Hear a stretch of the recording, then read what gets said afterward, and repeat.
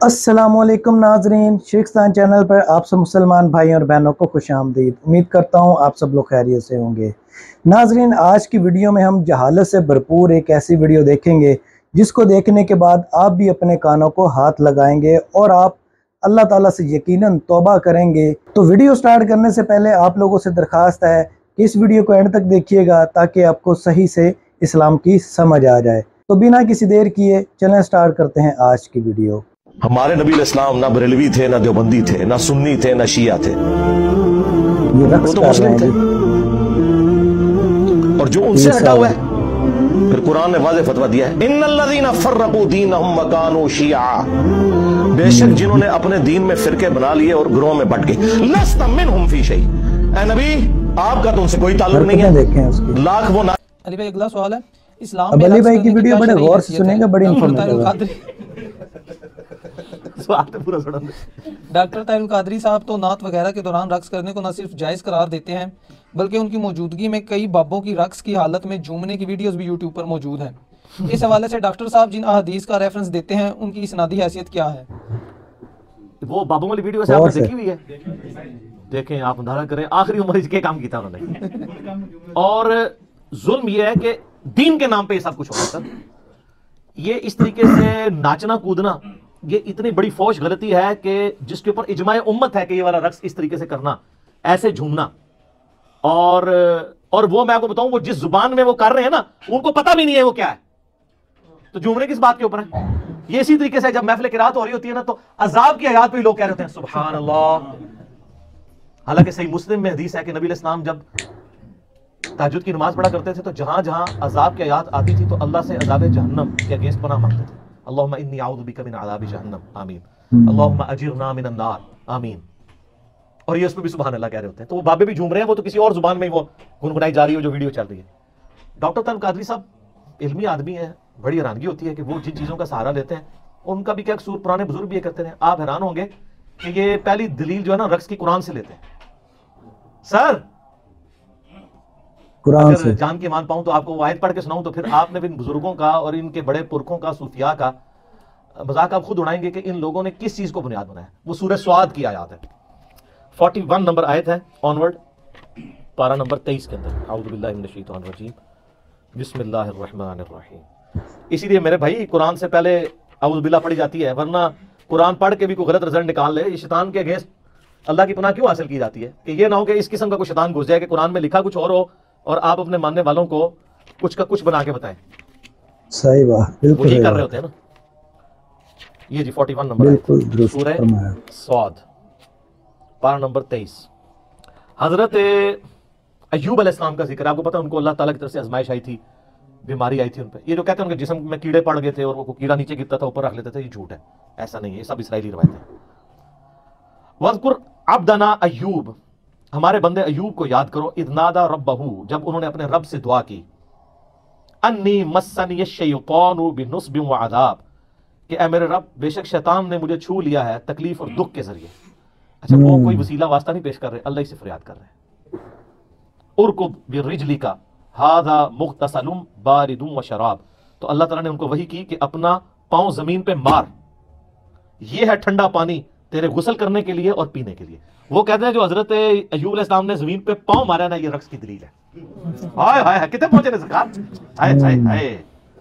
वहबना लहू तो हमने उनको, मजीद उनके अहल, बीवी और बच्चे, इनके सारे फौत हो गए थे। अल्लाह कहता है, हमने दोबारा नए बीवी बच्चे दिए और इसकी मिसल और अता कर दिए। रहमतम मिन्ना, अपनी तरफ़ से रहमत अलबाब, जिसमें नसीहत है अहले अकल के लिए। वो कहते हैं जी, अगर ये पाँव मार के नाचना हराम होता तो कुरान में ये आता। उसमें तो सिर्फ़ पाँव मारने का ज़िक्र है। ये तो नहीं कि वो पाँव मारते जा रहे थे। वो तो अम्मा हाजिर के लिए भी, जिनको आप हाजरा कहते हैं, लफ्ज हाजिर है, उनके लिए भी सैदना इस्माइल अलैहिस्सलाम के लिए वो जमजम जारी हो गया था। बुखारी में इशारा था ना तौरात में जरा डिटेल के साथ वाक्य मौजूद है। तो वो तो पाँव लगने से हुआ। तो ये कहते हैं कि वो, ये दलील है इससे दलील पकड़ते हैं। और अल्लाह के फजल से हमारे जो पुराने मुफसरीन और मुहदसिन हैं, उन्होंने बकायदा सूफिया का इन आयात के साथ खिलवाड़ करने का रद्द किया। ये खिलवाड़ वही है जिस तरह के अहले तशैयों ने खिलवाड़ किया कुरान के साथ। सूर्य अजारियात के अंदर पारा नंबर सताइस के स्टार्ट में आता है ना कि इब्राहिम इस्लाम को इंसानी शक्ल में आके फरिश्ते ने बिशारत दी, उनकी बीवी भी वहाँ खड़ी थी, उसको बिशारत दी सईदा सारा की उम्र ऑलमोस्ट 80 प्लस थी। और वो बूढ़ी हो चुकी थी, उस वक्त औलाद भी नहीं पैदा होती और कहा कि आपको एक बच्चे की बिशारत देते हैं, हज़रत इसहाक इस्लाम की। तो कुरान में है, फसक्कत वजह। तो उन्होंने अपना चेहरा पीटा और कहा कि मैं तो बुढ़िया और बांझ हूँ, मेरी औलाद होगी, ज़ाहिर अस्सी साल की औरत अगर प्रेग्नेंट हो जाए तो किसको मुँह दिखाएगी? तो एक उनका एब्रप्ट था। वो एक ही दफ़ा उन्होंने चेहरा पीटा हैरानगी के साथ तो कहते हैं इसे मातम साबित होता है। तो शिया ने इस आयत से जिस तरह घसीट के मातम साबित किया ना सुनियों के सूफिया ने सूर्य सात की आयत नंबर 41 से रक्स साबित किया।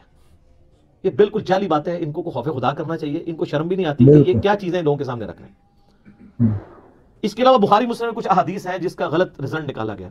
सही बुखारी और मुस्लिम दोनों में हदीस है कि अम्मा आयशा कहती हैं कि एक दफ़ा मस्जिद नबवी में हबशी जो है वो अपने नेजों और तलवारों के साथ और ढालों के साथ जंगी प्रैक्टिस कर रहे थे जंगी मशकें। हम्म, तो मैंने ख्वाहिश का इजहार किया अल्लाह के रसूल सल्लल्लाहु अलैहि वसल्लम मैं ये देखना चाहती हूँ। और आप फरमाती हैं कि तुम नबी इस्लाम का अखलाक देखो कि मैं तो नौजवान लड़की थी एक नौजवान लड़की जब इस तरह का कोई खेल तमाशा देख रही हो तो वो कितनी देर खड़े होकर देख सकती है उसका तो शौक होता है ना। तो नबी इस्लाम सामने खड़े हो गए मैं उनके पीछे खड़ी हो गई और मैं आप इस्लाम के जिसम मुबारक से यानी ओट करके पर्दे में वो देखती रही जब तक कि मैं थक ही नहीं गई नबी इस्लाम नहीं हटे। क्या शफकत थी? सुभान और फिर अम्मा आयशा के अल्फाज हैं तुम सोच सकते हो कि एक नौजवान लड़की कितनी देर खड़े होकर ये देख सकती है।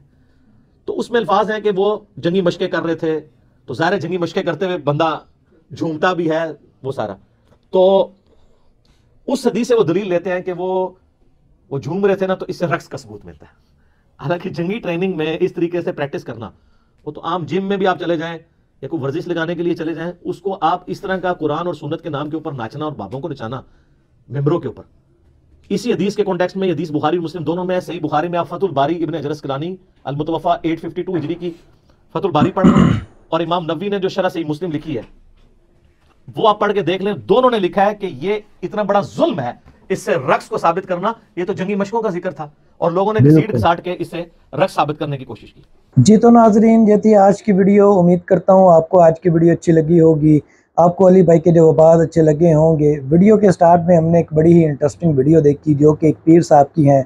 और वो कैसे झूम झूम कर डांस कर रहे हैं अक्सर लोगों ने नीचे कमेंट्स भी दिए हुए थे जहाँ से मैंने ये वीडियो डाउनलोड की कि ये बंदा जो है वो रक्स नहीं बल्कि मुजरा कर रहा है अस्तफरल्ला जी हाँ नाजरीन, अगर इस वीडियो को कोई अंग्रेज़ देखेगा तो वो इसके बारे में क्या सोचेगा? क्या वो इस वीडियो को देखकर इस्लाम कबूल करेगा या नहीं करेगा? आप लोग इस बारे में क्या कहते हैं? हमें कमेंट सेक्शन के ज़रिए ज़रूर बताइएगा। उसके बाद हमने अली भाई की वीडियो देखी, जिसमें अली भाई ने हमें बताया और उनसे ये सवाल किया गया कि इस्लाम में रक्स और गाना गाने की क्या हैसियत है?